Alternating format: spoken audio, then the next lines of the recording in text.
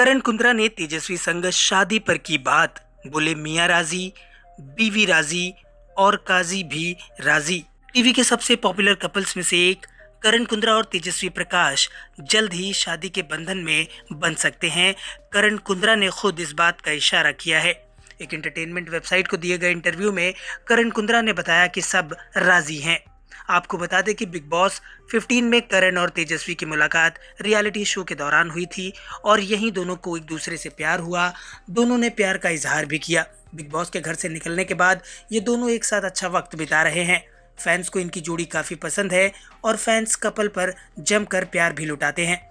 Fans बेसब्री से इनकी शादी के बंधन में बंधने का इंतज़ार कर रहे हैं। हालाँकि बीच में इनके सीक्रेट सगाई और छिप छिप कर शादी करने की कई खबरें सुर्खियों में आई। हालाँकि हर बार करण और तेजस्वी ने उसे अफवाह करार दिया। लेकिन इस बार खुद करण ने इंटरव्यू में बताया है कि दोनों के बीच सब कुछ ठीक ठाक चल रहा है और जल्द ही शादी भी हो सकती है। लेकिन इससे पहले तेजस्वी अपने जीवन में कुछ अचीव करना चाहती है और मैं भी उसके इंतज़ार में हूँ। शादी तो होनी है क्योंकि मियाँ भी राज़ी, बीवी भी राज़ी और काजी भी राज़ी। यानी सब राज़ी हैं, सिर्फ़ शादी की देर है।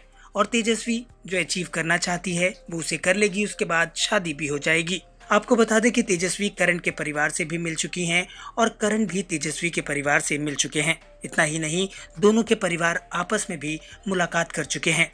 उनके बीच बॉन्डिंग भी काफ़ी अच्छी नज़र आती है। टीवी और इंटरटेनमेंट से जुड़ी इसी तरह की खबरें लगातार पाने के लिए आप जुड़े रहिए हमारे चैनल से और अपनी प्रतिक्रिया कमेंट्स के ज़रिए हम तक ज़रूर पहुँचाएँ।